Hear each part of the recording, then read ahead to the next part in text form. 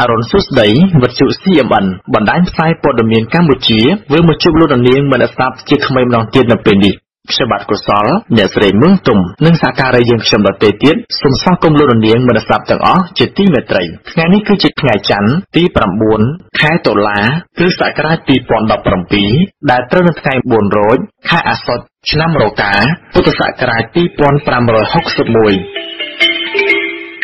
2561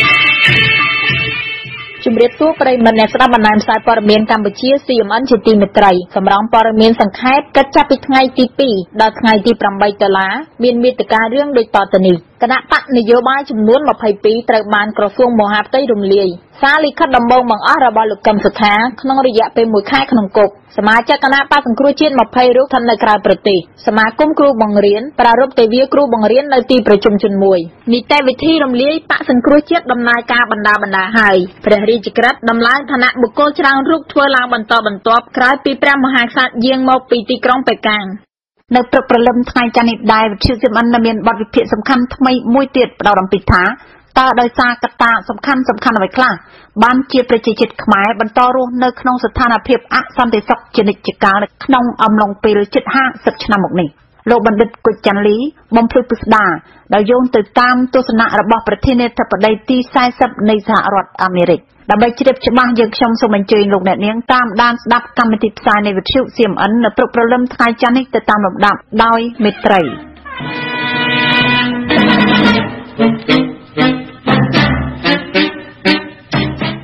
ប្រិមត្តអ្នកស្ដាប់ជាទីមេត្រីនាងខ្ញុំបញ្ញភាសូមជូនសេចក្តីរាយការណ៍សម្រងព័ត៌មានសង្ខេបកិច្ចចាប់ពីថ្ងៃទី2ដល់ថ្ងៃទី8ដុល្លារដូចតទៅនេះបកនយោបាយចំនួន22ត្រូវបានរំលាយយ៉ាងហោចណាស់គណៈបកចំនួន22ក្នុងចំណោមគណៈបកចំនួន41ត្រូវបានឲ្យដឹងថាក្រសួងមហាផ្ទៃសម្រេចរំលាយចោលថាល្មើសទៅនឹងច្បាប់ថ្មីស្តីពីគណៈបកនយោបាយដែលធ្វើវិសោធនកម្មពីរលើកក្នុងឆ្នាំ2017នេះ នៅថ្ងៃពីតុលាលោកសខេងឧបនាយករដ្ឋមន្ត្រីរដ្ឋមន្ត្រីក្រសួងមហាផ្ទៃបានចុះហត្ថលេខារំលាយដំណើរការរបស់គណៈបកនយោបាយចំនួន20ចោលដែលថារំលោភលើច្បាប់ស្តីពីគណៈបកនយោបាយនិងរំលាយបកពីរដទៃទៀតដែលប្រធានបកស្នើសុំគណៈបកនយោបាយទាំង22នោះជាបកនយោបាយដែលមិនសូវមានអ្នកស្គាល់ឬឮឈ្មោះប៉ុន្មានទេ ក្រៅពីគណៈបកលោកសឿនសានគណៈបកប្រជាធិបតេយ្យសេរីព្រះពុទ្ធសាសនាគណៈបកសាធារណរដ្ឋខ្មែររបស់កូនលោកលន់ណុលលោកលន់រិទ្ធវិសាធនកម្មច្បាប់ថ្មីស្ដីពីគណៈបកនយោបាយបានធ្វើឡើងកាលពីខែកុម្ភៈកន្លងទៅដោយមិនឲ្យមានប្រធានគណៈបកឬអនុប្រធានគណៈបកណាជាទាន់ដិតអាចធ្វើនយោបាយបានឡើយនឹងនៅខែកក្កដាច្បាប់ថ្មីនេះបានបន្ថែមទៀតថាបកនយោបាយណាដែលមានរូបវន្តបុគ្គលរូបទង់ជាតិអត្តសញ្ញាណជាតិព្រះមហាក្សត្រសញ្ញាជាតិនានានៅលើស្លាកគណៈបកតម្រូវឲ្យរើចោលខានតែបានវិទ្យុ CMN ជាសម្លេងប្រជាធិបតេយ្យ សារលិខិតដំបូងរបស់លោកកឹមសុខាខណៈលោកនៅពន្ធនាគារបានមួយខែគណៈបក្សសង្គ្រោះជាតិបានបញ្ចេញសារលិខិតរបស់លោកកឹមសុខាជាលើកដំបូងដែលបង្ហាញពីការតស៊ូដើម្បីឲ្យមានការផ្លាស់ប្ដូរមួយនៅកម្ពុជាតាមរយៈការបោះឆ្នោតគិតមកដល់ថ្ងៃ3ដុល្លារគឺមួយខែហើយនៃការចាប់ខ្លួនមេបកប្រឆាំងធំជាងគេនៅកម្ពុជាគណៈបក្សសង្គ្រោះជាតិបានបញ្ចេញសារលិខិតរបស់លោកកឹមសុខាដែលបង្ហោះនៅលើទំព័រ Facebook របស់លោកកឹមសុខានិងគណៈបក្សសង្គ្រោះជាតិផ្ទាល់សារលិខិតរបស់លោកកឹមសុខាផ្ញើជូនដល់ជនរួមជាតិខ្មែរទាំងក្នុងនិងក្រៅប្រទេសសហគមន៍អន្តរជាតិសមត្ថកិច្ចរដ្ឋាភិបាលនិងតុលាការលោកកឹមសុខាច្រានចោលការចោទប្រកាន់ទាំងប៉ុន្មានមកលើរូបលោកនិងសូមឲ្យស្ថាប័នមានសមត្ថកិច្ចដែលកំពុងចាត់ការលើរូបលោកធ្វើការពិចារណាឡើងវិញដែលទន្ទឹមនឹងនេះលោកថាតាំងពីការចាប់ខ្លួនលោកភ្លាមៗនៅកណ្ដាលត្រៀតថ្ងៃ3កញ្ញានោះគឺខុសទៅនឹងនីតិវិធីទៅហើយព្រោះលោកជាអនុប្រធានទី2សភាដែលមានអភ័យឯកសិទ្ធិស្របច្បាប់ហើយការដែលចោទប្រកាន់លោកខុបខិតទៅនឹងបរទេសដើម្បីផ្ដួលរំលំរដ្ឋាភិបាលគឺខុសហើយលោកបានសរសេរបង្ហាញថាក្នុងនាមលោកជាប្រធានបកនយោបាយប្រឆាំងមួយបើលោកមិនមានបំណងផ្លាស់ប្ដូរគណៈបកកាន់អំណាចទេគេមិនហៅថាបកប្រឆាំងឡើយហើយការផ្លាស់ប្ដូររបស់លោកគឺប្រកបដោយអហិង្សានិងជាវិជ្ជមានមិនមែនបកលោកបង្កើតឡើងដើម្បីលំអប្រជាធិបតេយ្យខ្លាំងខ្លាយ លោកបានអំពាវនាវដល់បងប្អូនជនរួមជាតិខ្មែរកុំតក់ស្លុតឲ្យសោះដែលលោកថាលោកក្នុងខណៈនេះត្រូវបានគេឃុំសេរីភាពក៏ពិតមែនតែឆន្ទៈឧត្តមគតិនៅមាននៅជាប់នឹងប្រជាពលរដ្ឋខ្មែរហើយក៏ទទូចឲ្យអន្តរជាតិជួយជំរុញឲ្យប្រជាធិបតេយ្យដែលដឹកនាំដោយរដ្ឋាភិបាលសពថ្ងៃដើរត្រូវកន្លងវិញផងក្រោយពីចាប់ខ្លួនលោកកឹមសុខាសហគមន៍អន្តរជាតិអង្គការអន្តរជាតិនានាបានចេញសេចក្តីថ្លែងការណ៍ថ្កោលទោសទង្វើរដ្ឋាភិបាលដែលចាត់ការលើលោកកឹមសុខាទាមទារឲ្យមានការដោះលែងលោកកឹមសុខា ជាប្រធានបកប្រឆាំងដ៏ធំដែលដឹកនាំសមាជិក55ក្នុងសភាដើម្បីធានាពីការបោះឆ្នោតនាឆ្នាំ2018ក៏ដូចជាជំរុញឲ្យកម្ពុជាកុំដើរចេញពីប្រជាធិបតេយ្យវិទ្យុ CMN ជាសម្លេងអ្នកជាតិនិយមសមាជិកគណៈបក្សសង្គ្រោះជាតិ20រូបស្ថិតនៅក្រៅប្រទេស តាមការឲ្យដឹងពីមន្ត្រីជាន់ខ្ពស់របស់គណៈបក្សសង្គ្រោះជាតិបានឲ្យដឹងថាសមាជិកគណៈបកនេះចំនួន20រូបស្ថិតនៅក្រៅប្រទេសបន្ទាប់ពីគណៈបកនេះកំពុងស្ថិតនៅក្នុងស្ថានភាពដែលលំបាកមួយនៅពេលដែលប្រធានគណៈបកខ្លួនក្លាយជាប្រតិជននៅក្នុងសំណុំរឿងដែលរដ្ឋាភិបាលចោទថាក្បត់ជាតិគប់ខិតទៅនឹងបរទេសករណីលោកកឹមសុខានេះលោកហ៊ុនសែនប្រមុខរដ្ឋាភិបាលកម្ពុជាថ្លែងនៅក្នុងថ្ងៃសម្ពោធសន្តាគារសិក្ខាថ្ងៃមុននោះថាមានពាក់ព័ន្ធច្រើនទៀតជាសំណុំព្រោះធ្វើឡើងជាប្រព័ន្ធហើយលោកមិនខ្លាចអ្វីនឹងការពេលសន្តិភាពភាពដោយចាប់ខ្លួនមនុស្សបន្ថែមទៀតទេមួយថ្ងៃក្រោយពីលោកហ៊ុនសែននិយាយដូច្នេះអនុប្រធានគណៈបក្សសង្គ្រោះជាតិលោកស្រីមួសុខហួរបានចាកចេញពីប្រទេសកម្ពុជាភ្លាមភ្លាមដោយក្នុងបទសម្ភាសន៍ចុងក្រោយមុននឹងចេញដំណើរលោកស្រីបានប្រាប់អ្នកសារព័ត៌មានស្ថាប័នមួយថាលោកស្រីបានដឹងមុនថានៅសប្តាហ៍ក្រោយនេះនឹងមានការចាប់ខ្លួនលោកស្រីដែលលោកស្រីជាមុខសញ្ញារបស់គេបន្ទាប់ពីលោកកឹមសុខាតែយ៉ាងនេះក្តីក្រសួងមហាផ្ទៃថាពុំមានផែនការណានឹងចាប់ខ្លួនលោកស្រីនោះឡើយចំណែកលោកផៃស៊ីផានថាការដែលលោកស្រីចាក់ចេញពីប្រទេសនេះមានន័យថា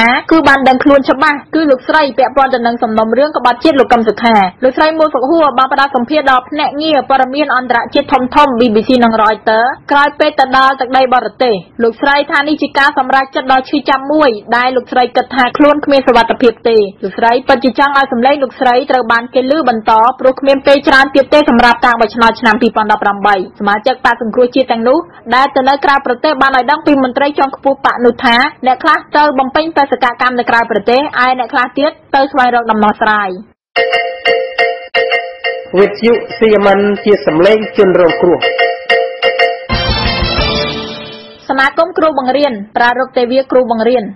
សមាគមគ្រូបង្រៀនប្រារព្ធទិវាគ្រូបង្រៀនបើទោះបីជាមានការហាមឃាត់មិនឲ្យមានការដង្ហែក្បួននៅទីសាធារណៈពីសាលារាជធានីភ្នំពេញ ចំពោះក្រុមសមាគមគ្រូបង្រៀនក្តី អ្នកស្រីប្រធានសមាគមអុកឆាយាវី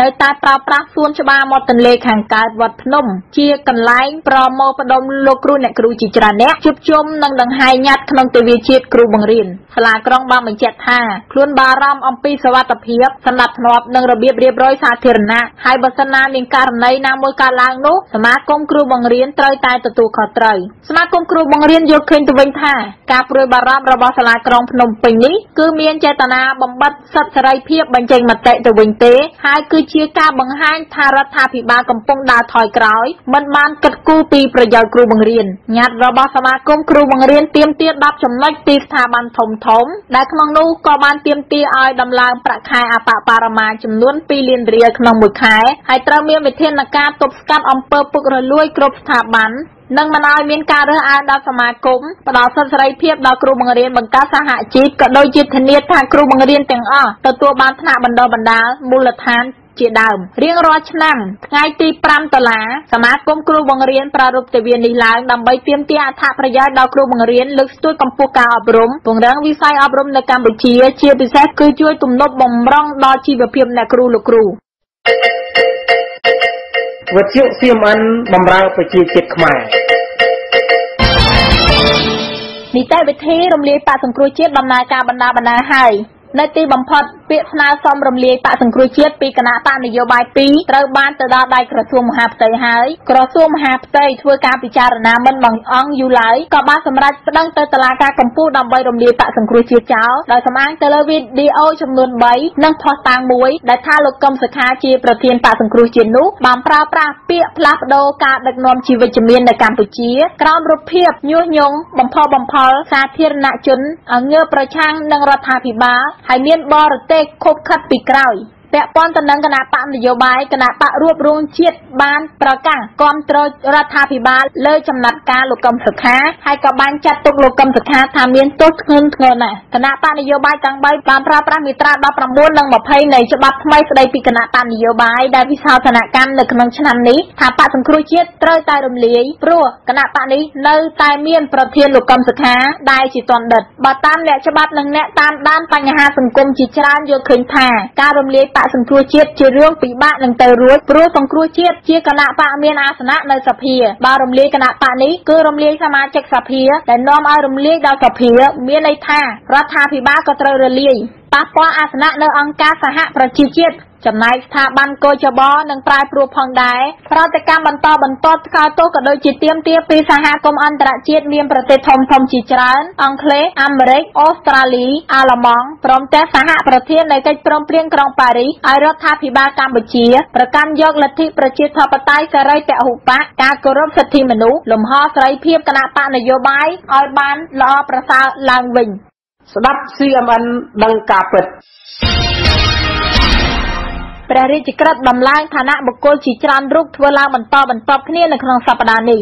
សេចក្តីប្រកាសដោយចុះហត្ថលេខាដោយលោកសាយឈុំប្រមុខស្ដីទីប្រទេសកម្ពុជាចេញផ្សាយជាសាធារណៈនៅថ្ងៃទី4ដុល្លារបានដំឡើងតំណែងដល់ទីប្រឹក្សាលោកហ៊ុនសែនចំនួន9រូបស្មើនឹងឋានៈរដ្ឋមន្ត្រីដែលអ្នកទាំង9រូបនោះគឺជាទីប្រឹក្សាដែលមានជំនាញមិនតែប៉ុណ្ណោះនៅថ្ងៃទី6ដុល្លារព្រះរាជក្រឹត្យដំឡើងឋានៈពីរផ្សេងទៀត ចេញព្រមគ្នាចុះហត្ថលេខាដោយសម្ដេចព្រះនរោត្តមសីហមុនី ដែលទើបតែយាងមកពីទីក្រុងប៉េកាំងបានដំឡើងឋានន្តរស័ក្តិកូនលោកហ៊ុនសែនលោកហ៊ុនម៉ាណិតជានាយទាហានថ្នាក់ឧត្តមសេនីយ៍ឯកផ្កាយ3ឯទាហានថ្នាក់ឧត្តមសេនីយ៍និងវរៈសេនីយ៍នៃកងយុទ្ធពលខេមរភូមិន្ទចំនួន27រូបទៀតក៏ត្រូវបានឡើងតំណែងឧត្តមសេនីយ៍ឯកឧត្តមសេនីយ៍តូនិងឧត្តមសេនីយ៍ត្រី ព្រះរាជក្រឹត្យដែលចេញព្រមគ្នានៅក្នុងថ្ងៃតែមួយនោះព្រះមហាក្សត្រទ្រង់ដំឡើងឋានន្តរស័ក្តិនាយឧត្តមសេនីយ៍ឯកដល់នាយនគរបាលថ្នាក់ឧត្តមសេនីយ៍ក្របខ័ណ្ឌមន្ត្រីនគរបាលជាតិកម្ពុជា នៃក្រសួងមហាផ្ទៃចំនួន3រូបដែលមានលោកទូចណារតជាអគ្គស្នងការរងនគរបាលជាតិនិងជាប្រធាននាយកដ្ឋានអង្គរៈចំណែកលោកម៉ាក់ជីតូជាអគ្គស្នងការនគរបាលជាតិទទួលបន្ទុកការងារគ្រឿងញៀននិងលោកហឹមយ៉ានជាអគ្គស្នងការរងនគរបាលជាតិផ្នែកនគរបាលចរាចរណ៍និងសណ្ដាប់ធ្នាប់សាធារណៈ CMN ជាអង្គការសារព័ត៌មានឯករាជ្យអ្នកវិភាគកំសុកស្ម័គ្រឡើងតុលាការបង្ហាញពីភាពស្អាតស្អំឲ្យលោកកឹមសុខា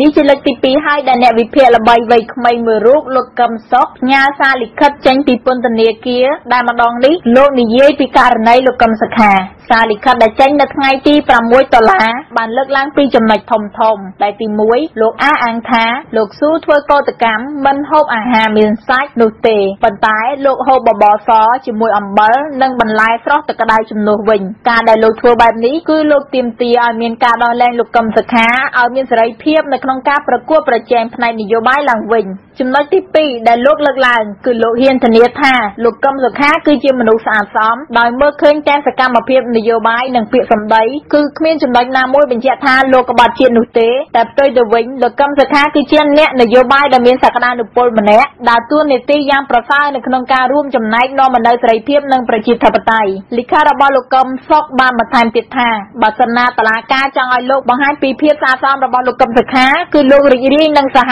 ការជំវិញការបំភ្លឺនេះចាំបានថាអ្នកវិភាគអត់សមចៃមាត់រូបនេះទោះបីបាត់បង់សេរីភាពនៅក្នុងការវិភាគក៏ដោយក្តី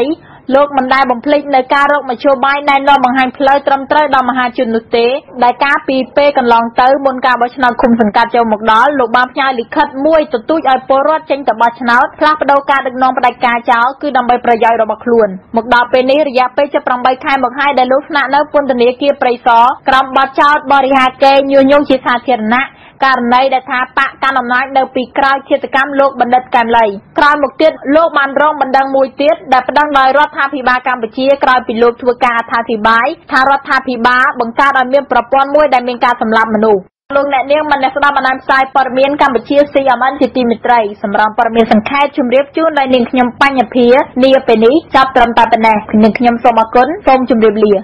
CMN ទំលាយអាតកំបាំង លោកនាងមិនស្ដាប់ជាទីមេត្រីហើយបើព័ត៌មានប្រចាំថ្ងៃនៃវិទ្យុ CMN ទើបតែបញ្ចប់បំបញ្ញមិញនេះក្តីក៏យើងខ្ញុំនឹងមានបទវិភាគថ្មីមួយទៀតសូមអញ្ជើញលោកនាងតាមដានស្ដាប់ជាបន្តទៅតាមលំដាប់ដោយមេត្រីយើងខ្ញុំជាក្រុមស្ម័គ្រចិត្តនៃវិទ្យុ CMN សូមថ្លែងអំណរអគុណដ៏ជ្រាលជ្រៅចំពោះលោកនាងសប្បុរសជនទាំងអស់នៅគ្រប់ទិសទីដែលបាននឹងបន្តផ្ដល់វិភាគទានជាថវិកាជាសម្ភារៈ និងជាកម្លាំងកាយចិត្តមតិយោបល់ជួយជ្រោមជ្រែងដល់កម្មវិធីផ្សាយប្រចាំថ្ងៃរបស់យើងខ្ញុំឲ្យកាន់តែប្រសើរដើម្បីជាប្រយោជន៍រួមជួយដល់ប្រជាជាតិខ្មែរយើងខ្ញុំស្វាគមន៍ជនិតនៅជំនួយឧបត្ថម្ភរបស់លោកដានៀងបើទោះបីថវិកាមួយសេនក្តីក៏មានតម្លៃខ្ពស់ណាស់សម្រាប់យើងខ្ញុំដែលខិតខំបំពេញការងារដោយស្ម័គ្រចិត្តជូនជាតិមាតុភូមិកម្ពុជាតាមរយៈជំនាញផ្នែកសារព័ត៌មាននេះជួយ CMN គឺជួយបណ្ដុះគំនិតជាតិនិយម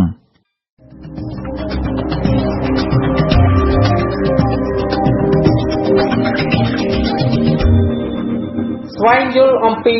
ទស្សនៈសំខាន់សំខាន់របស់ជនល្បីឈ្មោះនៅជុំវិញពិភពលោក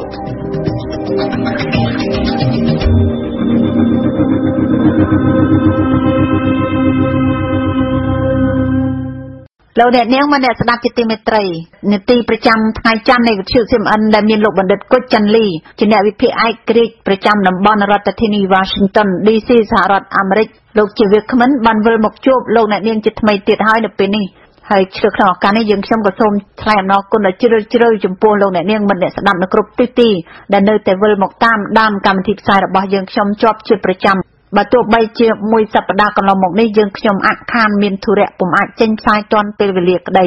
តែចាប់ពីថ្ងៃច័ន្ទនេះតទៅយើងខ្ញុំនឹងផ្សាយជូនជាធម្មតាឡើងវិញចាសសូមអរគុណនៅការបន្តគាំទ្រពីលោកអ្នកស្ដាប់ថ្ងៃនេះលោកបណ្ឌិតគុជច័ន្ទលីនឹងវិភាគជូននៅប្រធានបទថ្មីមួយដែលទាក់ទិនទៅនឹងស្ថានភាពនយោបាយដ៏តឹងតែងនៅកម្ពុជាចាតែជាដំបូងនាងខ្ញុំមឹងទុំសូមជម្រាបសួរលោកបណ្ឌិតជាមុនសិនជម្រាបសួរលោកបណ្ឌិតគុជច័ន្ទលីចា៎ បាទសូមជម្រាបសួរអ្នកស្រីមង្គមបាទហើយក៏សូមជម្រាបសួរជម្រាបរលឹកដល់អស់លោកលោកស្រីអ្នកនាងមិត្តកញ្ញាទាំងអស់ដែលជាអ្នកស្ដាប់វិទ្យុ CMN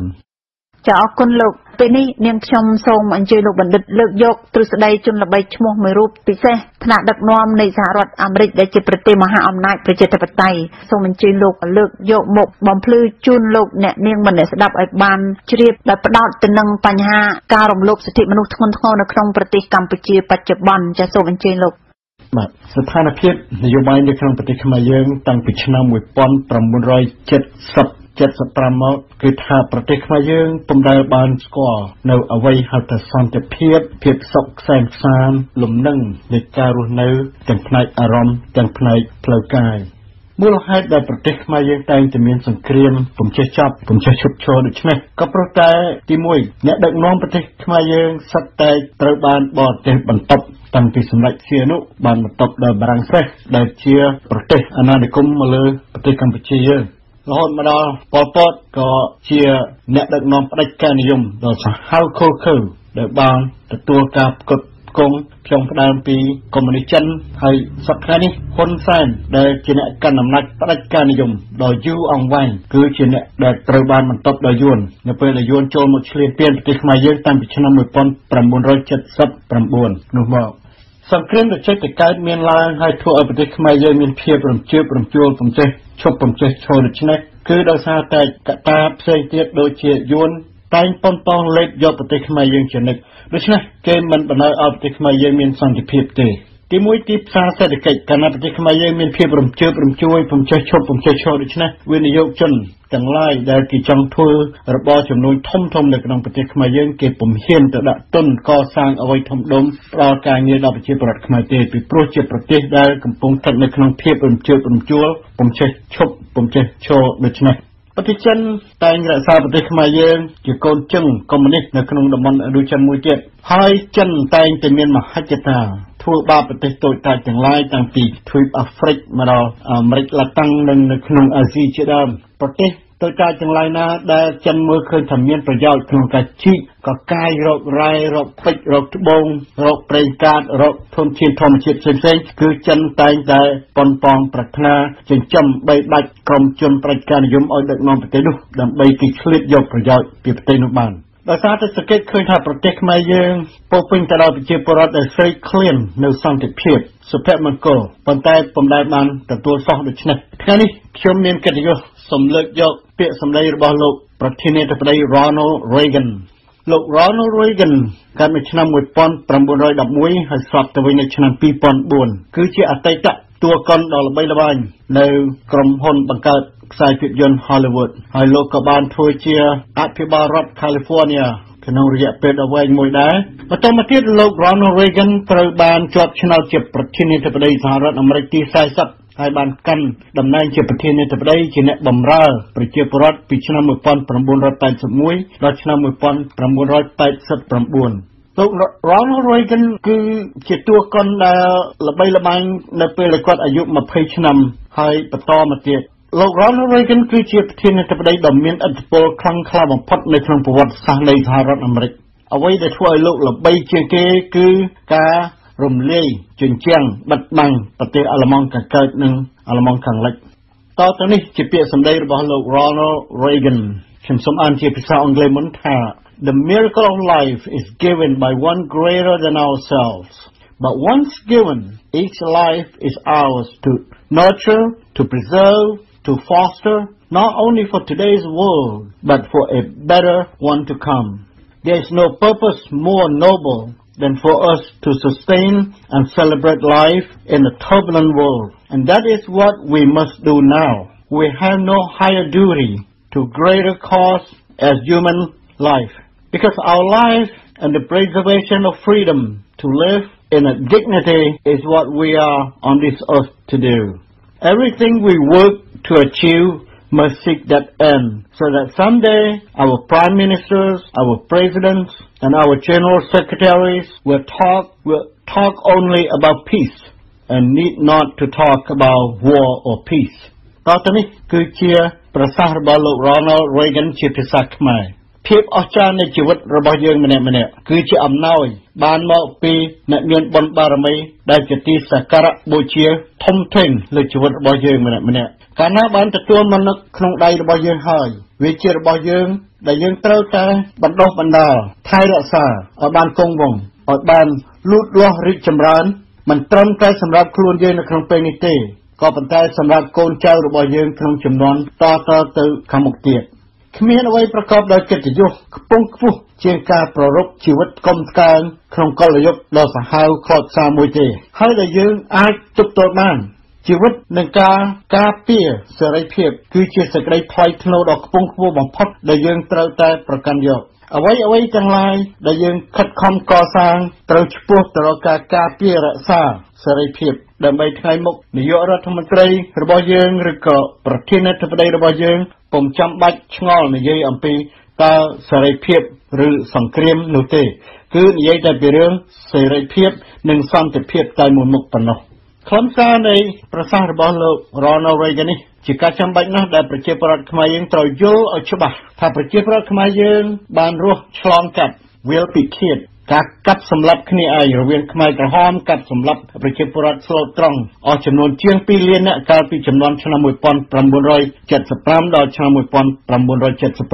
1979 ហើយយើងកំពុងតែរស់នៅថិតថេរសប្តាហ៍នេះកំពុងតែនាំគ្នាបោះដៃទៅលើដង្ហើយសុំសេចក្តីមេត្តាករុណាដល់អ្នកមានបុណ្យដែលជាម្ចាស់នៃជីវិតរបស់យើងសូមមេត្តាប្រគល់សិទ្ធិសេរីភាពនិងប្រគល់សន្តិភាពមកឲ្យយើងទាំងអស់គ្នាដែលយើងទាំងអស់គ្នាកំពុងស្រេកឃ្លានប៉ុន្តែយើងទាំងអស់គ្នាសប្តាហ៍នេះរស់នៅក្នុងភាពវឹកវរវេទនាខ្លោចផ្សាជាទីបំផុតប្រជាពលរដ្ឋខ្មែររាប់លានអ្នកសប្តាហ៍នេះមានជាង10លានអ្នក បើបូកទាំងជនជាតិយួនខុសច្បាប់មករស់នៅផងវាមានដល់ទៅ14 15លានអ្នករួចទៅហើយក៏ប៉ុន្តែភាពវឹកវរចលាចលដែលប្រទេសខ្មែរយើងតែងតែមានពំជប់ពំឈរដូច្នេះគឺបណ្ដាលមកពីឥទ្ធិពលជ្រៀតជ្រែកពីបរទេសការដែលប្រជាប្រដ្ឋយើងស្លាប់ជាង2លាននាក់នោះគឺជា លទ្ធផលនៃការសេពគប់ជាមួយពួកកុម្មុយនីសចិនហើយនិងកុម្មុយនីសយួនសប្តាហ៍នេះនយោបាយនៃប្រទេសខ្មែរយើងបានងាកទៅរកចិននិងយួនម្ដងទៀតដូចគ្នាបែបបិទនឹងការដែលយើងងាកទៅរកចិនកាលពីឆ្នាំ1963 65ផ្ដាច់ចំណងទូតពីសហរដ្ឋអាមេរិកហើយក៏បានត្រូវចិននិងយួនពង្រីកមនោគមវិជ្ជាកុម្មុយនីសនិយមនៅក្នុងរបបប៉ុលពតហើយសម្រាប់ប្រជាពលរដ្ឋខ្មែរយើងអស់ជាង2លាននាក់ សហរដ្ឋអាមេរិកបានទម្លាក់គ្រាប់បែកនៅក្នុងប្រទេសខ្មែរកាលពីដើមឆ្នាំទសវត្សរ៍1970ក៏ព្រោះតែសហរដ្ឋអាមេរិកចង់ការពារបូរណភាពដែនដីប្រទេសខ្មែរយើងពីសំណាក់ការលេបបំបត្តិពីយួនពីព្រោះតែកងទ័ពវៀតកុងបានចូលមកនៅក្នុងទឹកដីប្រទេសខ្មែរយើងជាពិសេសម្ដុំភូមិចន្ទ្រាដើម្បីធ្វើជាផែនការវាយ វាយសម្លាប់ទ័ពអាមេរិកនៅយួនខាងត្បូងពីខាងក្រោយខ្នងក៏ប៉ុន្តែអាមេរិកដឹងទាន់ក៏ទម្លាក់គ្រាប់បែកសម្លាប់យួនជាកុងនៅលើដីខ្មែរទាំងអស់នោះសម្ដេចសៀនុបានអនុញ្ញាតឲ្យយួនជាកុងប្រើដីខ្មែរយើងដើម្បីវាយអាមេរិកប៉ុន្តែសម្ដេចសៀនុពុំមានសមត្ថភាពដេញយួនជាកុងនោះចេញទៅវិញទេដោយឃើញដូច្នេះអាមេរិកការពារប្រទេសខ្មែរយើងផងការពារអាយុជីវិតនៃទាហានអាមេរិកនៅយួនខាងត្បូងផងទើបទីទម្លាក់គ្រាប់បែកក៏ប៉ុន្តែហេតុការណ៍ទាំងអស់នេះបានត្រូវបណ្ឌិតតូចតាច មកពីប្រទេសរុស្ស៊ីដូចជាសុកទូចឬមួយក៏ក្រុមអ្នកឆ្លៀតឱកាសនិយមកប៉ិកកប៉ុកដូចជាថៃសិដ្ឋានដូចជាសុកអេសានជាដើមគេថាគេតែងនិយាយការពារអក្រិតជនចិននិងយួនដែលបានសម្លាប់ខ្មែរយើងហើយគេថ្កោលទោសមកឲ្យសហរដ្ឋអាមេរិកវិញដែលជាអ្នកការពារបូរណភាពដែនដីខ្មែរ នេះហើយជានយោបាយសម្រាប់ប្រទេសខ្មែរយើងទាំងអស់នេះសុទ្ធតែជាជនក្បត់ជាតិទាំងសុកទូចទាំងផៃសិដ្ឋានសុកអេសាននិងពួកអ្នកឆ្លៀតឱកាសនិយមនៅជុំវិញរបបហ៊ុនសែនសប្តាហ៍នេះដែលឃោសនាលើកដំកើងការពារប្រទេសមហាអំណាចដែលបានសម្លាប់ខ្មែរយើងហើយនឹងប្រទេសយួនដែលកំពុងតែប៉ុនប៉ងលេបយកប្រទេសខ្មែរយើងខ្ញុំមានកិត្តិយសបានកើតមកជាកូនខ្មែរខ្ញុំមានមោទនភាពខ្លាំងណាស់ហើយពេលនេះជាករណីយកិច្ចរបស់ខ្ញុំដ៏ធំធេងជាទីបំផុត យល់តាមប្រសាសន៍របស់លោកប្រធានាធិបតីទី40នៃសហរដ្ឋអាមេរិក Ronald Reagan ដែលថាកាលណាយើងមានជីវិតរស់នៅយើងត្រូវតែថែរក្សាជីវិតរបស់យើងនោះនេះជាករណីចាំបាច់របស់យើងទាំងអស់គ្នាយើងថែរក្សាជីវិតរបស់យើងបានន័យថាយើងថែរក្សាជាតិសាសន៍របស់យើងពូជពង្សរបស់យើងឲ្យបានរស់នៅតទៅទៀត បើសិនជាយើងបណ្ដោយឲ្យយួនអំណោយឲ្យចិនគេចូលមកសម្លាប់ខ្មែរយើងម្ដងទៀតអស់ទៅជីវិតយើងវាអស់ទៅជីវិតប្រជាពលរដ្ឋខ្មែរយើងទាំងអស់គ្នាក៏រលាយបាត់បង់អស់ទៅទឹកដីរបស់យើងក៏ត្រូវគេយកបាត់អស់ទៅពេលនោះពូជសាសន៍យើងក៏នឹងត្រូវសាប់សូន្យរលាយហើយគ្មាននរណាគេស្គាល់គ្មាននរណាគេអាចជួយបានទេលោកប្រធានាធិបតី Ronald Reagan លោកបានលើកទឹកចិត្តអ្នកស្នេហាសេរីភាពនិយមឲ្យការពារសេរីភាពរបស់ខ្លួនដែលជាករណីយកិច្ច ប្រកបដោយកិត្តិយសដ៏ខ្ពង់ខ្ពស់ជាទីបំផុតក៏ប៉ុន្តែសេរីភាពពុំមែនបានមកដោយឯងឯងនោះទេហើយគ្មានអ្នកណាមួយគ្មានជនប្រតិការមួយក្បាលណាដែលគេនឹងបកគលសេរីភាពមកឲ្យប្រជាពលរដ្ឋនោះទេសេរីភាពជាអ្វីមួយដែលប្រជាពលរដ្ឋត្រូវតែប្រយុទ្ធទាមទារយកដោយខ្លួនឯងការប្រយុទ្ធទាមទារយកសេរីភាពមកដាក់នៅក្នុងកណ្ដាប់ដៃរបស់ខ្លួនហើយត្រូវរក្សាសេរីភាពនេះឲ្យកើតមានបន្តជានិច្ចនៅក្នុងដៃរបស់ខ្លួនយើងពីព្រោះថា កាលណាបានសេរីភាពមកក្នុងកណ្ដាប់ដៃរបស់យើងហើយបើវារបូតទៅវិញវាមិនអាចបានមកវិញម្ដងទៀតទេគ្មានជនប្រជាការនិយមណាម្នាក់ចង់ឃើញប្រជាពលរដ្ឋមានសិទ្ធិសេរីភាពនោះទេនៅពេលនេះប្រទេសខ្មែរយើងក៏ត្រូវដល់ពេលបោះឆ្នោតសកលនៅឆ្នាំ2018សូមកុំភ្លេចថាគ្មានជនប្រជាការនិយមមួយក្បាលណាមកចូលរួមក្នុងការបោះឆ្នោតដោយសេរីនិងដោយយុត្តិធម៌នោះទេ បើសិនជាជនប្រជាការនិយមនោះគេដឹងថាខ្លួនគេនឹងចាញ់ជនប្រជាការនិយមត្រូវតែកម្ចាត់គូប្រកួតមេគណៈបកប្រឆាំងណាមួយដែលល្បីល្បាញហើយដឹងថាយកជ័យជំនះលើខ្លួនបានត្រូវចាប់យុទ្ធនគុកត្រូវទៅចោទថាក្បត់ជាតិឬក៏ត្រូវតែលបមាញ់សម្លាប់ចោលជាដើមជនប្រតិការនិយមមិនមានជំនឿលើការបោះឆ្នោតដោយសេរីនិងយុត្តិធម៌ដែលបណ្ដាលឲ្យពួកគេអាចធ្លាក់ ពីរាជបល្ល័ង្កដ៏សុខសែនសានរបស់គេដោយអយុត្តិធម៌តាមការបោះឆ្នោតដែលបន្លំពីដើមពីដើមមកនោះនោះទេដូច្នេះការបោះឆ្នោតនៅក្នុងប្រទេសខ្មែរយើងឆ្នាំ2018ខាងមុខនេះគឺជាការបោះឆ្នោតលេងសើចដែលមានតែពួកឆ្លៀតឱកាសនិយមពួកលក់ក្បាលពួកចូលចិត្តស្រឡាញ់មុខតំណែងតំណាងរាស្ត្រកប៉ិតកប៉ុកនៅប្រទេសខ្មែរយើងអញ្ចឹងហើយនឹងពួកក្បត់ជាតិទៅចូលរួមក្នុងការបោះឆ្នោតដើម្បីបំពេញសេចក្តីត្រូវការបំពេញចំណង់ចិត្តរបស់ជនបដិការនិយម គឺជាការបោះឆ្នោតដើម្បីចាញ់របស់ពួកប្រឆាំងក៏ប៉ុន្តែគេបានទទួលតំណែងតំណាងរាស្ត្របានទទួលប្រាក់ខែ1000 2000 3000និងបានទទួលលៀបសការៈក្នុងការពុករលួយផ្សេងផ្សេងដើម្បីបង្ក្រប់កិច្ចបង្ក្រប់ទឹកទៅឲ្យជនបដិការនិយមតែប៉ុណ្ណោះដំណោះស្រាយក្នុងការរើបំរាស់ឲ្យរួចចាក់ផុតពីការលក់ប្រទេសជាតិនៃរាជរដ្ឋាភិបាលសប្តាហ៍នេះគឺមានតែប្រជាពលរដ្ឋខ្លួនឯងផ្ទាល់គិតគឺពិចារណារកដំណោះស្រាយធ្វើសកម្មភាព ដើម្បីរំលំរបបប្រជាការនិយមនេះចេញពីព្រោះថារបបប្រជានិយមមិនដែលរលំដោយខ្លួនឯងទេមិនដែលរលំដោយឯងឯងទេវាត្រូវការកម្លាំងធំធេងហើយសោះគ្នាដើម្បីច្រានដើម្បីរំលំរបបនោះដោយអង្គអាចដោយក្លាហានជាទីបំផុតទើបរបបប្រជានិយមមួយអាចរលំបានអ្នកប្រជានិយម Adolf Hitler ដែលជាជនសាហាវខុសខើបំផុតដូចជាម៉ៅសេតុងដូចជាប៉ុលពតដូច្នេះ Hitler បាននិយាយថា ការដែលប្រជាពលរដ្ឋនៅក្នុងប្រទេសមួយមិនគិតគូរមិនប្រើគំនិតពិចារណា គឺជាភពវាសនាដ៏ល្អសម្រាប់ជនប្រជានិយមនៃប្រទេសនោះដូច្នេះ Hitler ចង់និយាយថារបបប្រជានិយមមួយអាចស្ថិតនៅគង់វង្សបានក៏ដោយសារតែប្រជាពលរដ្ឋនៃប្រទេសនោះមិនប្រើគំនិតមិនគិតមិនគូរមិនខ្វល់មិនខ្វាយពីវាសនាអនាគតនៃប្រទេសជាតិរបស់ខ្លួនហើយជនប្រជានិយមទាំងឡាយតែងក្រាញនៅក្នុងអំណាចរបស់ខ្លួន ដោយសារតែខ្លួនមានប្រយោជន៍ច្រើន ឬក៏មានគំនិតក្បត់ជាតិដែលបរទេសជួយការពារជនប្រជានិយមនោះដើម្បីឲ្យបំរើផលប្រយោជន៍របស់បរទេសដូចជាមេដឹកនាំខ្មែរសប្តាហ៍បំរើនយោបាយរបស់យួនដើម្បីឲ្យយួនមានឱកាសនៅពេលខាងមុខអាចលើកទ័ពមកចូលនៅក្នុងប្រទេសខ្មែរយើងហើយមិនចេញទៅវិញ អ្នកកាន់អំណាចប្រទេសខ្មែរយើងសប្តាហ៍អាចក្រាញមនាលនៅក្នុងអំណាចដើម្បីបំរើផលប្រយោជន៍ចិនដើម្បីឲ្យចិនជីកកកាយករ៉ែរកមាសរកព្រៃឈើអ្វីផ្សេងផ្សេងពីប្រទេសខ្មែរអស់រលីងជនប្រជានិយមទាំងអស់នោះត្រូវបានប្រទេសដែលបានទទួលផលប្រយោជន៍ពីប្រទេសខ្មែរយើងការពារជ្រោមជ្រែងឧទាហរណ៍ដូចជាការចាប់មេគណៈបកប្រឆាំងយុទ្ធនគុកចោតពីបទក្បត់ជាតិជាដើមប្រទេសចិនរឿងអីត្រូវមកប្រទេសខ្មែរយើងអបអរសាទរ ហើយលើកស្ទួយការចាត់បកគលម្នាក់ដែលជាតំណាងរាស្ត្រមានអភិរិសិទ្ធយុទ្ធនគុកហើយចោតពីបទក្បត់ជាតិដូច្នេះអត្តន័យនៃការក្បត់ជាតិពុំបានឆ្លុះបញ្ចាំងនៅសកម្មភាពលោកកម្មសខាដែលជាប្រធាននៃគណៈបកប្រឆាំងនោះទេក៏ប៉ុន្តែនៅក្នុងអំណាចផ្ដាច់ការនិយមគេអាចធ្វើដូច្នេះបាន របបដឹកនាំរបស់ហ៊ុនសែនសប្តាហ៍ថ្ងៃដូចគ្នាបេះបិទនឹងរបបរបស់ប៉ុលពតពីឆ្នាំ75ដល់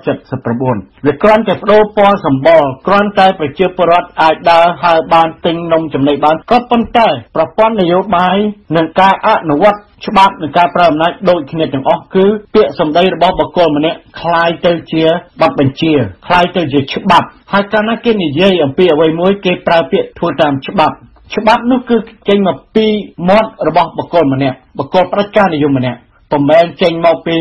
ការប្រឹកព្រៀងបានទុករួចមកហើយដោយនីតិបញ្ញត្តិនោះទេហើយក៏គ្មានតឡាការណាមួយដើរពិនិត្យប្រឹកព្រៀងដូចនៅក្នុងលទ្ធិប្រជាធិបតេយ្យអំពីការអនុវត្តច្បាប់របស់នីតិប្រតិបត្តិនោះដែរពីព្រោះតឡាការគឺជាអាយ៉ងគឺជាឧបករណ៍របស់នីតិប្រតិបត្តិ ដូច្នេះហើយការប្រើច្បាប់នៅក្នុងរបបប្រជានិយមនៅក្នុងប្រទេសខ្មែរសប្តាហ៍នេះគឺជាការប្រើច្បាប់ប្រជានិយមចេញពីបុគ្គលម្នាក់ក្នុងគោលបំណងដ៏អាក្រក់ជាទីបំផុតហើយផ្ដល់គ្រោះថ្នាក់ដល់ប្រជាពលរដ្ឋខ្មែរយើងនៅខាងមុខនេះដោយធ្ងន់ធ្ងរណាស់បើសិនជាប្រជាពលរដ្ឋខ្មែរយើងមិនប្រើគំនិតមិនគិតគូរហើយមិនថែរក្សា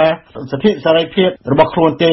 ដូច្នេះប្រជាប្រដ្ឋខ្មែរសប្តាហ៍គេឲ្យរស់នៅដោយសប្បាយមានភ្លើងមានទីកំសាន្តចំណីចំណុកពោពេញទៅដោយគ្រឿងពឹសពលមេរោគគ្រប់សពបែបយ៉ាងក៏ប៉ុន្តែប្រជាប្រដ្ឋខ្មែរយើងឆ្លៀតដកដង្ហើមដោយជាត្រីអណ្ដែងរស់នៅក្នុងភពពីមួយថ្ងៃទៅមួយថ្ងៃនៅក្នុងរយៈពេលខាងមុខនៅពេលដែលទឹកភពនោះរីងស្ងួតអស់ទៅទើបត្រីអណ្ដែងនោះដាច់ខ្យល់ស្លាប់ប៉ុន្តែខ្ញុំសូមឲ្យអ្នកមានបុណ្យទាំងឡាយជួយថែរក្សាអាយុជីវិតប្រជាប្រដ្ឋខ្មែរយើងកុំឲ្យស្លាប់ ហើយសូមឲ្យប្រទេសខ្មែរយើងនៅគង់វង្សជានិច្ចដរាបរៀងទៅ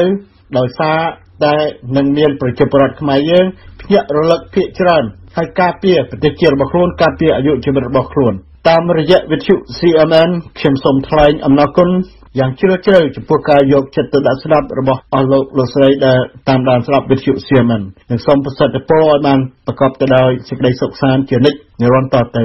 សូមជម្រាបលាបាទ ចាសសូមអរគុណលោកបណ្ឌិតគុចាន់លីលោកជាអ្នកវិភាគឯករាជ្យប្រចាំតំបន់រដ្ឋធានី Washington DC សហរដ្ឋអាមេរិក សូមរំលឹកជូនលោកអ្នកស្ដាប់ឲ្យបានជ្រាបថាលោកបណ្ឌិតកូចាន់លីនៅក្នុងអំឡុងពេលជាង20ឆ្នាំមកនេះក្នុងនាមជាបញ្ញវន្តខ្មែរអ្នកចិត្តនិយមមួយរូបលោកបានប្រមូលចងក្រនៅទស្សនៈរបស់ជនល្បីឈ្មោះនៅជុំវិញពិភពលោកបានរាប់រយនាក់ហើយដែលវិទ្យុ CMN នឹងផ្សាយជូននៅបទវិភាគរបស់លោកភ្ជាប់ទៅនឹងទស្សនៈជនល្បីឈ្មោះទាំងនោះគឺក្នុងម្នាក់មួយសប្តាហ៍ដើម្បីជូនជាចំណេះដឹងជាបច្ច័យបញ្ញាត្រេះរិះពិចារណាជូនជាប្រយោជន៍រួមដល់ប្រជាជាតិខ្មែរយើងចា៎ សូមលោកអ្នកនាងកុំភ្លេចវិលមកតាមដានស្ដាប់កំបីខាននៅរៀងរាល់ថ្ងៃច័ន្ទឆ្លៀតក្នុងឱកាសនេះដែរយើងខ្ញុំសូមជម្រាបជូនថានៅថ្ងៃស្អែកថ្ងៃអង្គារវាគ្មិនកិត្តិយសមួយរូបទៀតនៃវិទ្យុ CMN គឺលោកបណ្ឌិតឌីការ៉េតនឹងវិលមកជួបលោកអ្នកស្ដាប់ដើម្បីឆ្លើយបំភ្លឺចំពោះចម្ងល់របស់លោកអ្នកនាងអ្នកស្ដាប់មួយចំនួនដែលបានសរសេរមកកាន់យើងខ្ញុំដែលសួរចង់ដឹងថាបើហ៊ុនសែននិងគណៈបកប្រជាជនកម្ពុជាបកកាន់អំណាចរំលាយគណៈបកសង្គ្រោះជាតិបានដោយជោគជ័យក្រោមប្រព័ន្ធច្បាប់អាយ៉ងតើស្ថាប័នជាតិកម្ពុជាកម្ពុជាណាខ្លះនៃប្រទេសកម្ពុជាបច្ចុប្បន្នហ្នឹងដែលរងផលប៉ះពាល់ដែរនោះចាដើម្បីជ្រាបច្បាស់សូមអញ្ជើញលោកអ្នកនាងកុំភ្លេចវិលមកតាមដានស្ដាប់កុំបីខាននៅកម្មវិធីផ្សាយនៃវិទ្យុ CMN នៅថ្ងៃអង្គារនេះសូមអរគុណ